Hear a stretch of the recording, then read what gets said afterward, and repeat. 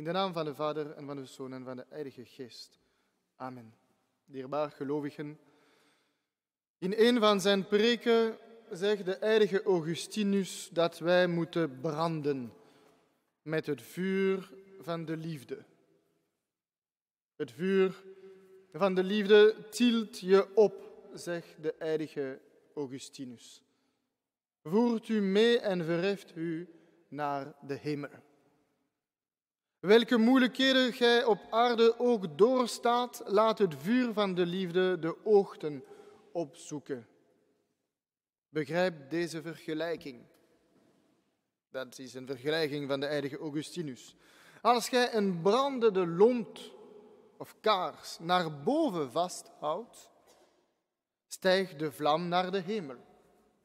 Laat de kaars zakken en de vlam, de vlam stijgt, nog steeds naar de hemel.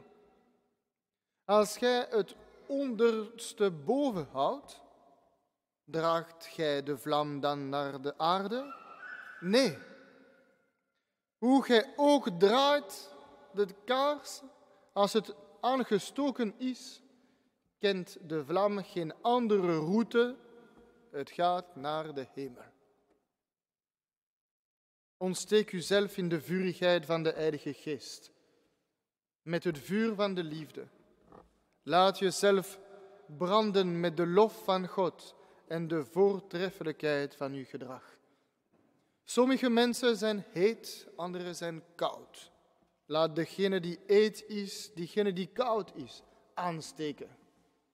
En laat degene die weinig brandt, wensen om meer te branden en om hulp vragen. De Heer is bereid om te geven, wij met een groot hart willen ontvangen. Woorden van de heilige Augustinus. Vandaag is de eerste dag van oktober, de maand van de heilige rozenkrans. En wij hernieuwen de ceremonie van toewijding in de Militia Immaculate. Toewijding aan de heilige maagd om deel te worden van haar leger. Een leger dat een vuur wil ontsteken. Het vuur van Gods liefde. Een leger dat het vuur, de warmte van Gods liefde wil verspreiden.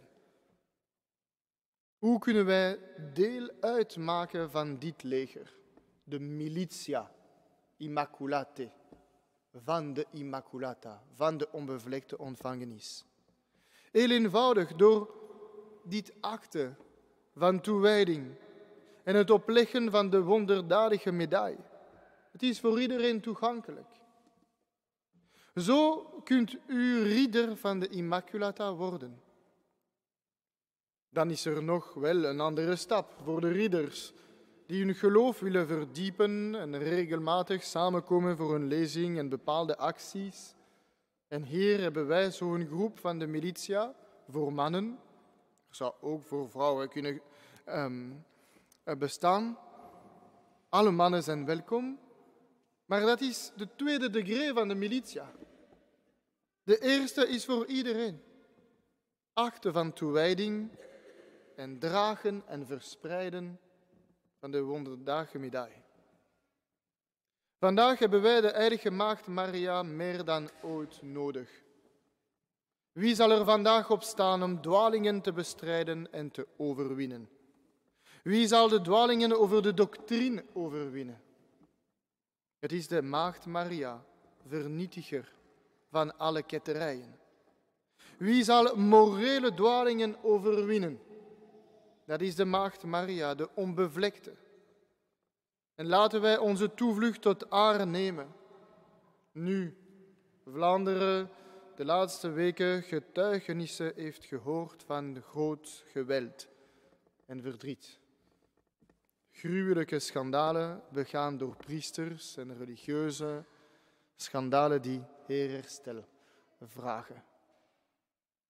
Het is maar het is Maria die God aanwees. Toen hij tegen de vijand van het menselijke ras zei, ik zal vijandschap wekken tussen u en de vrouw. Tussen uw kroost en haar kroost. Dit zal u de kop verpletteren, maar gij zult loeren naar zijn, naar zijn hiel. Daarom is de liturgie haar door de eeuwen heen blijven uitroepen tot de Almachtige Maagd. En zal dat blijven doen tot het einde der tijden, sterk als een leger in slagorde, zegevierend in al Gods gevechten. Zij was het die ons de Verlosser Jezus gaf, overwinnaar van zonde, doden en hel. In 1830 verscheen ze in La Rue du Bac, nummer 140, in Parijs aan. Aan een nederige non van, Saint, Vincentius van Paul, zuster Catherine Labouré. En zij gaf haar een medaille om de vijand van de mensheid te verslaan, een wapen dat zo krachtig was dat het bekend werd als de wonderdadige medaille.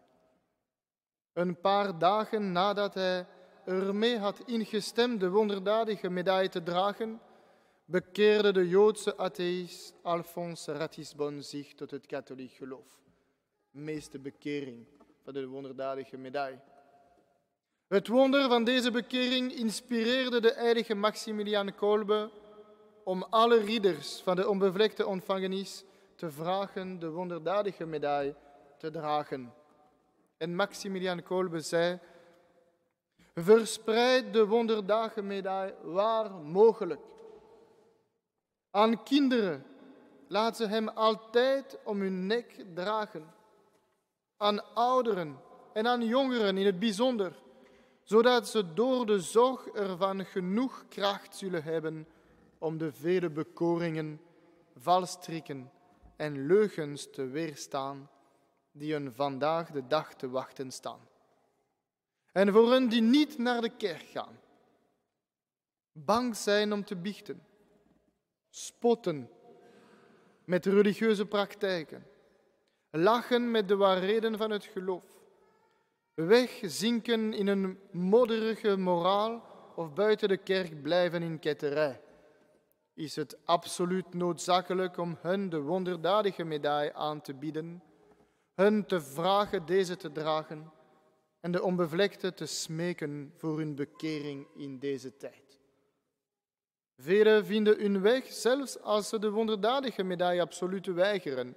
Het is waar, maar naai uit, dat is de raad van Maximilian Kolbe, naai uit in dit geval gewoon stiekem in hun kleding en bied. Maria onbevlekt ontvangen laat vroeg of laat zien wat ze kan. Ja, neem maar enkele wonderdadige medaille mee.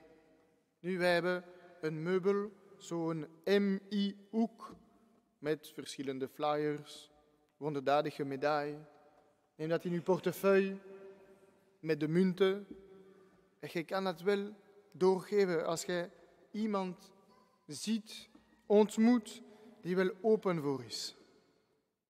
Dierbaar gelovigen in de 21ste eeuw blijft de Heilige Maagd haar kinderen steunen en begeleiden en zegenen.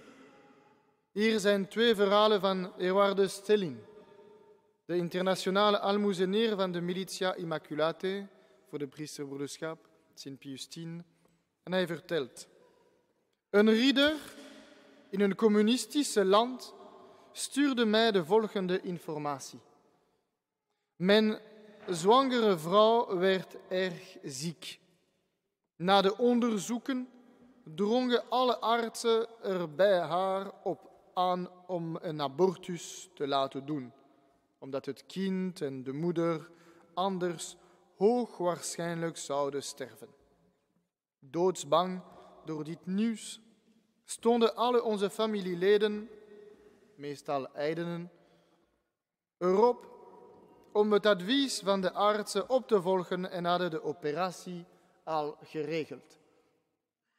Mijn goede vrouw zei nee en vroeg mij om samen met haar 1000 rozennoetjes te bieden voor het wonder van een gelukkige geboorte. De woedende artsen weigerden verdere medische zorg. Alle familieleden beschuldigden ons ervan religieuze fanatici te, te zijn en werden erg vijandig tegenover ons. Het was een verschrikkelijke tijd. En toen gebeurde het wonder. Ons kind werd zonder enige afwijking geboren en zowel moeder als kind waren kerngezond. En gij kunt u alleen maar de verbazing van de artsen voorstellen. Dankzij dit wonder werden enkele leden van onze familie bekeerd. Alle lof voor de onbevlekte ontvangenis. En Pater Stellin vertelt over een ander getuigenis dat hij persoonlijk ontving. Een man vertelde hem het volgende. Ik heb een hele zondig leven geleid. Ik heb nooit gebeden en ik maakte godsdienst belachelijk. Plotseling stierf mijn grootmoeder. Omdat mijn ouders gescheiden waren en geen interesse in mij hadden, was mijn grootmoeder de enige persoon in de wereld van wie ik hield en die ik vaak bezocht. Zij was altijd heel lief voor mij. Toen ik hoorde dat ze overleden was, was ik er kapot van en begon ik te drinken. Een week na de begrafenis gaf mijn vader mij een envelop met daarin een brief die oma had mij geschreven en haar paternoster. Vele jaren heb ik met deze paternoster gebeden, schreef zij. Deze parels zijn mijn enige schat. Het is voor jou, mijn kleinzoon. Als je hem in je handen houdt, denk aan, aan mij en aan mijn liefde voor jou. Ik was zo geschokt door deze boodschap dat ik niet kon slapen. Ik ging naar het graf van mijn grootmoeder en uilend beloofde ik haar dat ik de, het rozenhoedje voor de rest van mijn leven bij mij zou bieden en die paternoster zou houden. Op dat moment voelde ik mij gedwongen om te gaan bidden. Het was mijn eerste weersgegroet.